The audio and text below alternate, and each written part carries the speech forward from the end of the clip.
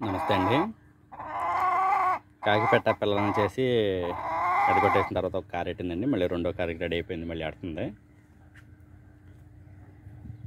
పిల్లల్ని చాలా బాగా మేపిందండి ఇది.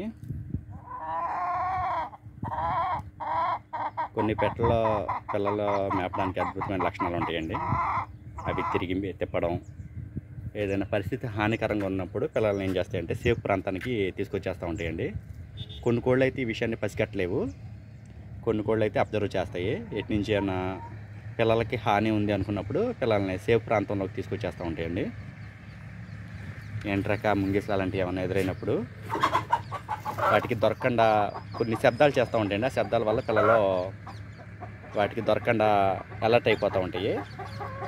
కొన్ని కోళ్ళు పసిగట్టగలిగితే కొన్ని కోళ్ళు పసిగట్టలేవండి. అందువల్ల మనం జాగ్రత్తగా గమనించుకుని ఏ కోడైతే పిల్లల్ని బాగా మేపుతుందో వాటిని అబ్జర్వ్ చేసుకుని పిల్లల్ని పదిగేసుకుంటూ ఉండాలండి గుడ్లు.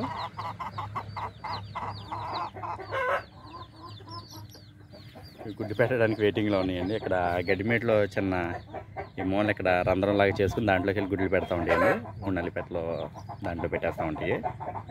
దానికోసం వెయిటింగ్ చేస్తూ ఉన్నాయి. దాని తర్వాత ఒకటి. ఇలా పెట్టినప్పుడు స్టార్టింగ్ ఇలాంటి ప్లేస్లో ఉండడం వల్ల ముందు పెట్టి వచ్చేస్తాయి కాబట్టి మనకి ఇబ్బంది ఉండదు. అదే పెద్ద పెట్ట గుడ్లు పొద్దుగుడికి వచ్చేసినప్పుడు మిగతా వాటిని పెట్టనవదు. అలాంటి పరిస్థితుల్లో ఆ పెద్ద పెట్టని తీసి మనం సపరేట్ చేసుకుంటే ఆ ప్రాంతంలో గుడ్లు మళ్ళీ వెళ్ళి పెడతా ఉంటాయండి. చిన్నపేట పెట్ట పొదుగుడికి వచ్చినా కానీ పెద్దపేటలో వచ్చి పొది పొడి చేస్తాయి కాబట్టి అవి వెళ్ళిపోతాయి అటు వాళ్ళ ఇబ్బంది లేదు.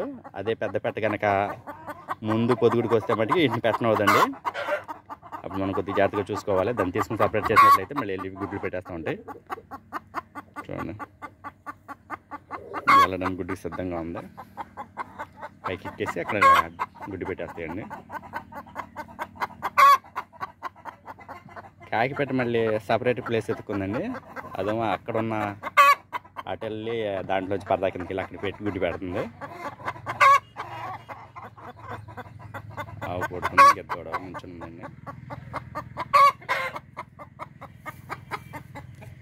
ఈ మూడు నెలలు ఆవుల విషయంలో చాలా జాగ్రత్తగా ఉండాలండి. లంపీ వైరస్ స్ప్రెడ్ అవుతూ ఉంటుంది కాబట్టి ఆవుల విషయంలో ప్రత్యేక శ్రద్ధ తీసుకుంటూ ఉండాలి.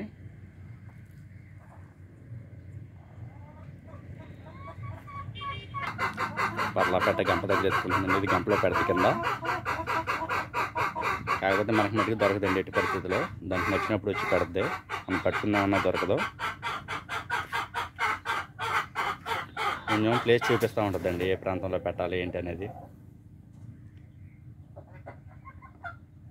పెట్టలు గుడ్డుకు వచ్చినప్పుడు పుంజులు కాపలాగా ఉంటాయండి. అవి ఎత్తుకుంటూ ఉండి బయట నుంచి చూస్తూ ఉంటాయి.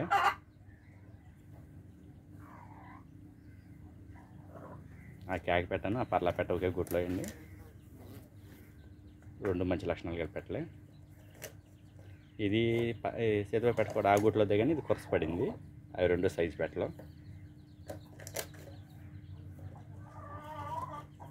ఇలా గుడ్లు పెట్టేటప్పుడు మనం కింద గడ్డేసుకోవడం వల్ల గుడ్డు డ్యామేజ్ అవ్వకుండా ఉంటుందండి.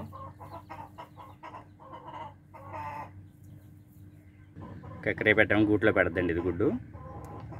ఇది తగ్గు చాలా తక్కువ గుడ్లు పెడద్దండి ఐదారు గుడ్లు పెడద్ది. మళ్ళీ వెంటనే ఒక పది రోజుల్లోపు మళ్ళీ గుడ్డుకు వచ్చేస్తూ ఉంటుంది.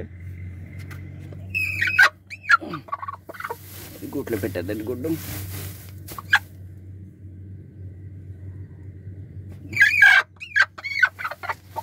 ఇప్పుడు కంట్లో స్పాట్ వచ్చింది తగ్గింది అన్నాను కదండి అప్పుడు వీటిలో కూడా కక్కరే పెట్టండి. ఇవి చూడండి ఈ స్పాటు. అది కొంచెం నల్లగుడ్డు అటు పెరిగినట్టుగా ఉంది చూడండి అది. అది ఇంకా ఎక్కువ ఉండేది. అది తగ్గుకుంటూ వస్తుంది ఇప్పుడు. కొంచెం ఉంది ఇప్పుడు.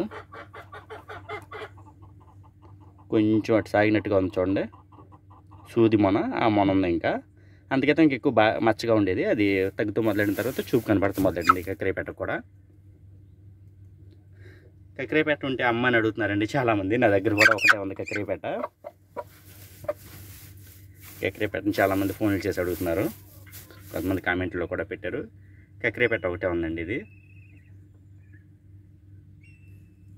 పిల్లలు దిగితే చూడాలి. ఎర్ర బ్రష్ పెట్టండి. ఇది కూడా గుడ్లోనే పెడదు గుడ్డు. మనం పెట్టలు గుడ్డుకు వచ్చినప్పుడు సపరేట్ ప్లేస్లో మనం కేటాయించినట్లయితే గుడ్లు త్వరగా పెట్టి వెళ్ళిపోతాయండి. వాటికి కనుక ప్లేస్ సరిగ్గా లేకపోవడం వల్ల ప్లే గుడ్లు పెట్టడం లేట్ అయిపోతూ ఉంటుంది. అందువల్ల మనం టయానికి పెట్టలు వచ్చినప్పుడు వాటికి సరిపడా ఎక్కడ ఇష్టపడే వాటికి అక్కడ ఆ ప్రాంతంలో మనం అనుకూలంగా కల్పించడం వల్ల ఆ ప్రాంతంలో గుడ్లు పెట్టి త్వరగా వెళ్ళిపోతూ ఉంటాయి. దానివల్ల మళ్ళీ తిరిగి వెళ్ళిపోయి కోడి మేత నీళ్ళు తీసుకుంటుంది పుంజుతో క్రాస్ అవుతుంది కాబట్టి మన గుడ్లు కొద్దిగా ఒకటి రెండు గుడ్లు ఎక్కువ పెట్టడానికి అవకాశాలు ఉంటాయి. ఈ గుడ్డు పెట్టడంలో కానీ ప్లేస్ ఎత్తుకుంటాం గుడ్డు పెట్టడానికి లేట్ అయిపోతే మేత తీసుకోవడం ఉండదు కాబట్టి నెక్స్ట్ డే గుడ్డు తయారవదు అందువల్ల గుడ్లు సంఖ్య తగ్గుతుంది. అందువల్ల మనం జాగ్రత్త తీసుకుని గుడ్లు పెట్టి పెట్టకి అనువైన వాతావరణం కల్పించినట్లయితే గుడ్డు పెట్టేసి త్వరగా వెళ్ళిపోతాయండి. అక్కడ ఆ డాగా ఉందండి ఆ డాగా ఇక్కడ ఇది వీటికి కాపలా రెండు రెండు గంటల కాపలా ఉంటా ఉంటాయి.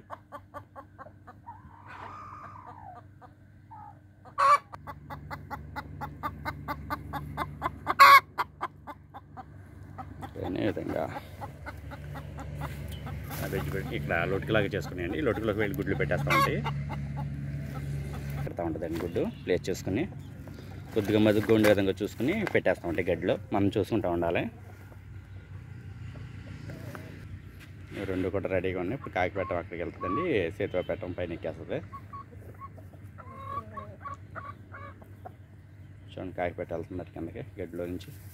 అది దాని ప్రాంతంలోకి వెళ్ళిపోతుంది. ఇది పైకి ఎక్కేస్తుందండి. ఎప్పటికప్పుడు మనం గుడ్డు తీసేయడం వల్ల కోల్డ్ ప్లేస్లు మర్చేతకు చూస్తూ ఉంటాయండి. అందువల్ల ఇప్పుడు మనం తీసే ఒక సపోజ్ నాలుగు ఐదు గుడ్లు పెట్టిన అనుకోండి ఒక గుడ్డు మళ్ళీ గుడ్డు పెట్టే టైంకి ఒక గుడ్డు అక్కడ పెట్టేసినట్లయితే ప్లేస్ మార్చకుండా అక్కడే పెడతా ఉంటాయండి. మనం గుడ్డు తీసేసినట్లయితే మళ్ళీ ప్లేస్లు ఎక్కువ మార్చేయడానికి అవకాశాలు ఉంటాయి. నేను పిల్లలను వదిలినప్పుడు మట్టి పచ్చకాయ పెట్టిన ఖచ్చితంగా కట్ దీన్ని కప్పే వదలాల్సి వస్తుందండి పిల్లల్ని. అంటే పిల్లల కోళ్ళని పొడి చేస్తూ ఉంటుంది పిల్లల్ని పొడి చేస్తూ ఉంటుందండి ఇది. అందువల్ల దీన్ని ఖచ్చితంగా కప్పెట్టిన తర్వాత పిల్లల్ని వదులుతానండి చిన్న పిల్లల్ని. మీరు కూడా ఈ విధంగా మీ కోళ్ళు అయినా సరే కోళ్ళ మీద తిరగబడే కోళ్ళు ఉంటే వాటిని ముందు కప్పెట్టేసుకోండి అండి. గాబులో సపరేట్ చేసేసి పిల్లలు లేకపోతే ఆ కోళ్ళు రెండు కొట్టుకోవడం వల్ల కాళ్ళ కింద పడి పిల్లలు చచ్చిపోతూ ఉంటాయి. అందువల్ల మీరు ఏ కోడైతే అయితే పిల్లల కోడిని ఇంకొక వేరే ఏదైనా కోడి తిరగబడుతూ ఉంటే గాబుల్లో ముందు సపరేట్ చేసిన వాటిని మనం గాబుల్లో వేసుకున్న తర్వాత మనం పిల్లల కోడిని వదులుకోవాలండి. చిన్నపిల్లలు అవడం వల్ల ఊరిని ఇటు కాలు తగిలిందంటే పిల్లలు డ్యామేజ్ అవుతాయి లేకపోతే నోట దొరికింది అంటే చంపేస్తూ ఉంటాయి. అందువల్ల జాగ్రత్తలు తీసుకోండి పిల్లల చిన్నపిల్లల విషయంలో.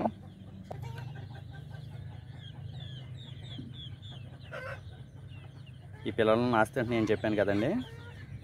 ఇందులో మైలాపేట పిల్ల ఉంది కదండి దాని కొద్దిగా గురకలాగా వచ్చింది దాన్ని సపరేట్ చేశాను. అందువల్ల నీళ్ళ మీద పువ్వు అనేది సాధారణంగా తినకుండా జాగ్రత్తలు తీసుకోండి అది చాలా ప్రమాదం.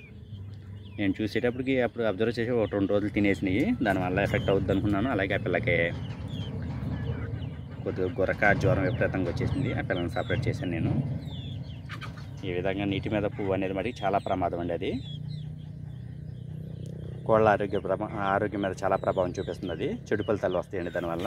అందువల్ల మీకు అందుబాటులో ఉన్న ప్రాంతాల్లో అలాంటి పువ్వు కనుక నీళ్ళ మీద ఉన్నట్లయితే ఆ ప్రాంతాల్లోకి మీ కోళ్ళు వెళ్ళకుండా జాగ్రత్తలు తీసుకోండి. లేదా ఆ పువ్వుని తీసి దూరంగా పారేసేసుకోండి అండి. ఆవుల్ని ఉదయం పూట ఎండలో బయట కట్టుకోవాలండి. ఎండలో ఉండడం అనేది ఆవుకి ఆరోగ్యానికి మంచిదండి. ఉదయం పూట కనీసం పది పదకొండు అయ్యే వరకు అయినా ఎండలో ఉంచుకోండి అండి విధంగా. ఇప్పుడు ఎండ తీవ్రత అంత ఉండదు కాబట్టి ఆవు తట్టుకోగలుగుద్దండి. కనీసం పదింటి వరకైనా ఎండలో ఉన్నట్లయితే ఆవు సాధారణంగా ఆవు శరీరానికి ఎంతో మంచిది. సాధారణంగా మనం నీడలో కట్టేసినట్టయితే ఆవు నలుపు రంగులోకి వచ్చేస్తుందండి. అందువల్ల ఆవులను ఎండలో ఉంచుకోవాలి. ఆవుకు సంబంధించి మూపురం ఉంటుంది సూర్యకేతు నాడు ఉంటుంది కాబట్టి సూర్యకేతు నాడు ద్వారా సూర్యుని నుంచి వచ్చే ఎండను ఆవు శోషించుకుంటుంది. దానివల్ల సాధారణంగా వచ్చే ఎన్నో రకమైన ఆరోగ్య సమస్యలను ఆవు ఎండలో ఉండడం వల్ల వాటిని తట్టుకునే శక్తిని పొందుకుంటుందండి. ఈ ఎండలో ఆవును కట్టుకోవడం వల్ల వాటి నుంచి ఆవు ఇమ్యూనిటీని పొందుతుంది. అందువల్ల ఆవు ఎండలో ఉన్నా ఏమవుదండి కనీసం పదింటి వరకైనా ఆవుని ఎండలో కట్టుకోండి. ఆవు ఎండలో ఉండాలండి. ఇప్పుడు లంపి వైరస్ ఒకటి బాగా ప్రభావం చూపిస్తుందండి. అందువల్ల ఆవుల్ని చాలా జాగ్రత్తగా ఉంచుకోండి. బయట ఆవులతో కలవకుండా జాగ్రత్తలు తీసుకోండి.